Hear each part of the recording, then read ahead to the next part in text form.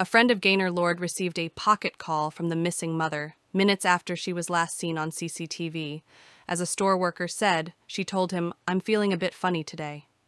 The 55 year old was seen walking along St. Augustine Street in Norwich last Friday, just after 4 p.m., in a video, which is the last clip of her before she went missing. She was last seen leaving her work at Bullard's Gin, where she is a retail assistant. Mrs. Lord's friend Julie Butcher said she received two phone calls from the mother on the day of her disappearance.